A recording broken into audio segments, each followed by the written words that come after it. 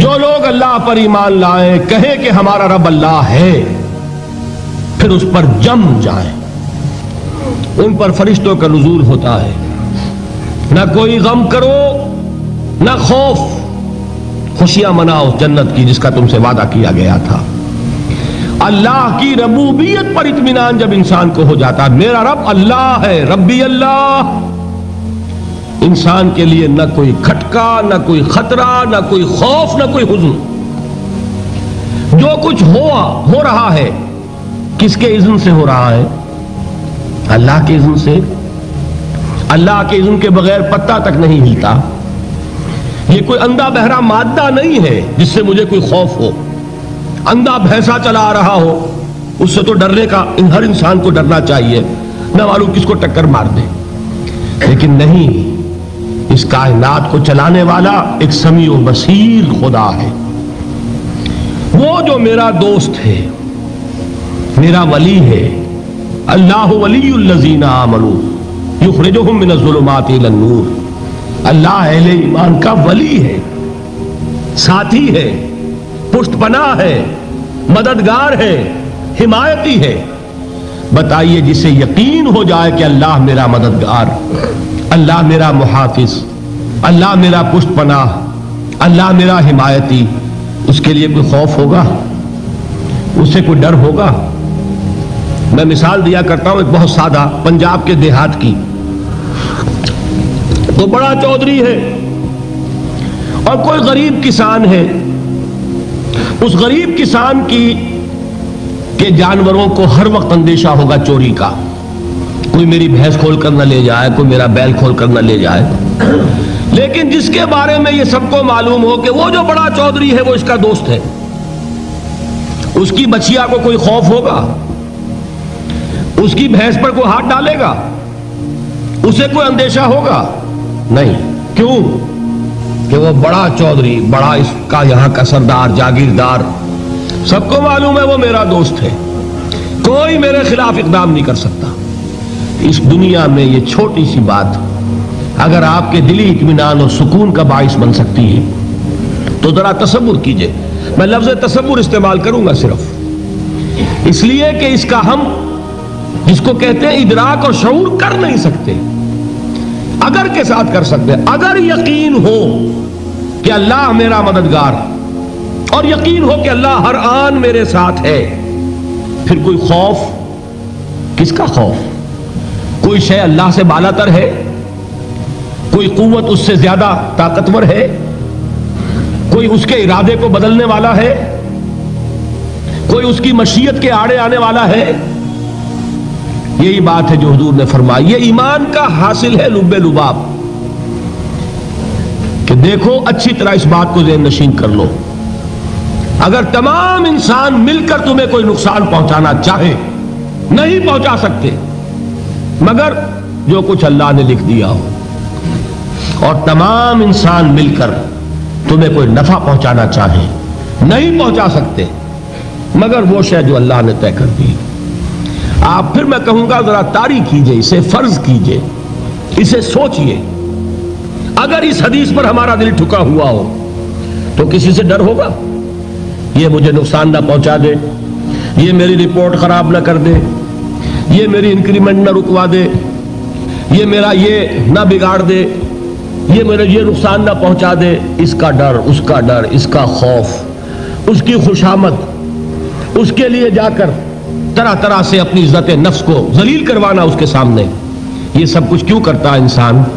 जब समझता है कि इसके हाथ में मेरा कोई नफा है, इसके हाथ में मेरे लिए कोई जरर है, ये मुझे कोई गजन पहुँचा सकता है। ये मुझे कोई नुकसान पहुँचा सकता है। ये मेरा कोई काम बना सकता है। ये मेरी कोई ज़रूरत पूरी कर सकता है। इसी का नाम शिरक है। जहाँ आपने ये समझा कि गैरुल्लाह के अंदर कोई ताकत मौजूद है, वही शिरक है। बुतों से तुझको उम्मीद है खुदा से नौमीदी मुझे बता तो सही, और काफरी क्या है? शिरक तो ये है। जिस पर भी तुम्हें यह ख्याल है, कलमा है, ये कलमा सोम। ला हौला वला कुव्वत इल्ला बिल्लाह। जरा इस पर दिल को कभी अगर आप तस्वुर करें, फिर फ़र्ज़ करें, दिल ठुक जाए इस पर। कोई ताकत नहीं। यही बात थी जो शेख अब्दुल कादिर जिलानी अलैह ने अपनी वसीयत में अपने बच्चे से कही। ग्यारहवीं देने वाले हैं, लेकिन हज़रत शेख अब्दुल कादिर जिलानी की वसीयत और तालीमत को कितने लोग हैं जानते हो? ये जिन मकाम तक पहुँचे हैं, वो किस चीज़ की बदौलत पहुँचे उन्होंने जो पैगाम दिया वो क्या था? ऐ मेरे बच्चे, जिस तरीके से कुरान मजीद में हज़रत लुकमान की नसीहतें जो है नकल कर दी गई हैं, मैं ये अर्ज़ करूँगा बिलफर्ज अगर कुरान हज़रत अब्दुल कादिर जिलानी के बाद नादिल हुआ होता तो शेख अब्दुल कादिर की ये नसीहतें भी कुरान में दर्ज होती। इतनी ऊँची नसीहतें हैं। ऐ मेरे बच्चे, इस हकीकत को जहन नशीन कर ले। ला फ़ाइल फिल हकीकत, वला इल्लल्लाह। इस कायनात में न कोई फ़ाइल हकीकी है, न मुअस्सिर हकीकी है सिवाय अल्लाह के। किसी शय में कोई तासीर नहीं अगर अल्लाह ना चाहे। आग जला नहीं सकती अगर अल्लाह ना चाहे। पानी डबो नहीं सकता अगर अल्लाह ना चाहे। जहर हलाक नहीं कर सकता अगर अल्लाह ना चाहे। कोई चीज़ फ़ायदा नहीं पहुँचा सकती अगर अल्लाह ना चाहे। तो दर दर पे क्यों सर झुकाते हो? दर दर पर क्यों जबीने जबी साई करते हो? सबके सामने क्यों हाथ फैलाते हो? एक अल्लाह से मांगो। एक अल्लाह के सामने ज़मीन सर पर, ज़मीन पर अपनी ज़मीन रखो। फ़ाइल फिल हकीकत नज़र आता है हमें कि पानी प्यास बुझा देता है। प्यास बुझाने की सलाहियत पानी में नहीं है। अल्लाह के इज्न से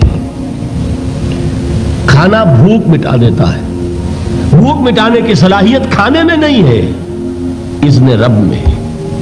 देखिए, यही यकीन था। हज़रत मूसा का वाक़ याद कीजिए। सामने समंदर आ गया है। कौम देखती है पीछे कि गर्दो गुबार का तूफ़ान है। मालूम हुआ कि फिर अपने लश्कर समेत आ गया। लश्कर जब चलता था तेज रफ्तारी के साथ तो गर्दो गुबार का जो तूफ़ान उठता था, उसका तस्वुर कीजिए। और लम्हा ब लम्हा वो करीब आ रहा है। पूरी कौम ने क्या कहा ए मूसा इन्नाला मुद्रकून। मूसा, हम तो पकड़े गए। कुरान मजीद में तो यहाँ वो बातें नहीं लिखी है। लेकिन तौरात में ये दर्ज है कि बनी इसराइल झगड़ने लगे दस्तों गरीबान हो गए मूसा के साथ। मूसा हमें यहाँ मरवाया लाकर, इससे तो हम ही बेहतर थे। वहाँ खाने को मिलता था, ज़िंदगी तो थी। बेगार हम कर रहे थे, मौत तो नहीं थी। अब जो कुछ होगा, उसका तस्वुर करो। जिस तरीके से हमारे टुकड़े उड़ाए जाएँगे। तो लड़ रहे हैं हज़रत मूसा सलाम से। ये तौरात की तफसील है। कुरान में सिर्फ़ इतना आया है, परेशान होकर उन्होंने कहा, इन्ना आला मुद्रकून मूसा हम तो पकड़े गए। उस वक्त मूसा का जवाब क्या है? कल्ला इन रब्बी सयाहदीन। नहीं। मेरे साथ मेरा रब है। वो रास्ता देगा। बताइए, कहाँ रास्ता नज़र आ रहा है? ये है ईमान बिल गैब। रास्ता नज़र ना आए, तब अल्लाह पर यकीन ईमान है। जेब में पैसे हो और तब दिल को इतमान है। तो ईमान किस पर हुआ? पैसे पर, अल्लाह पर नहीं। जब वसाइलो जराए न हो और फिर यकीन हो कि अल्लाह मुसब्बुल असबाब है, वो असबाब का पाबंद नहीं है। वो असबाब का मोहताज नहीं है, असबाब उसके मोहताज है। अगर ये यकीन है तो अल्लाह पर ईमान है। ये नहीं है तो तुम्हारा ईमान असबाब पर है वसाइल पर है, जराए पर है, मादियात पर है, अल्लाह पर नहीं। उस वक्त कहा रास्ता था? कोई रास्ता था? समंदर है और उधर से लश्कर आ गया है। कल्ला रब्बी सयाहदीन। अब देखिए, ईमान कह देना आसान है। हुआ माकुम है ना माकुन तुम जहाँ कहीं भी तुम होते हो अल्लाह तुम्हारे साथ होता है।